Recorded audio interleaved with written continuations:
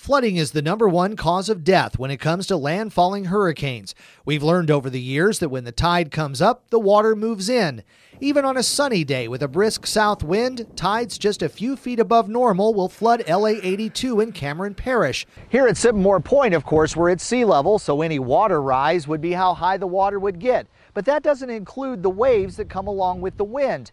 A storm surge of 20 feet, similar to what we saw with Hurricanes Rita and Ike, would put water up to those palm trees. Hurricane Rita's storm surge flooding was significant in Delcambre. It prompted a number of homes being raised over the years.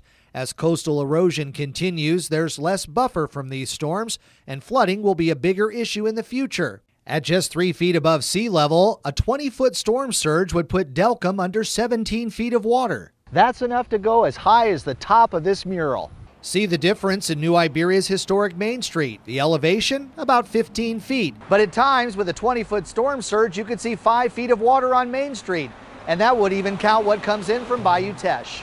And here in Franklin, you'll be treading in 11 feet of water under the lampposts. Each of these cities are within a few miles of the Gulf of Mexico. But what about Lake Arthur? Sitting over 30 miles from the coast, the wetlands between offer no protection. Lake Arthur, at about 4 to 5 feet above sea level, would see over 15 feet of storm surge coming up the Mermentau through Grand Lake. For Acadiana's News Channel, I'm meteorologist Dave Baker.